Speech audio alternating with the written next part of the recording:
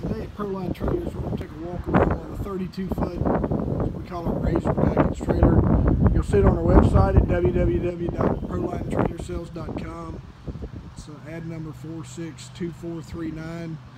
It's a great looking 32 foot triple axle. You can reach us at 540-334-4182 if you have any questions. These models come with a coin rubber floor, tread plate covered wheel boxes, white vinyl walls and ceiling, L-shaped cabinets,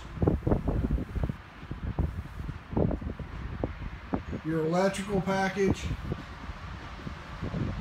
air conditioner is standard on this model.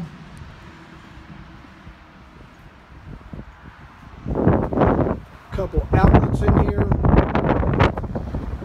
an additional roof vent. Pit lights on the side. Aluminum wheels are standard.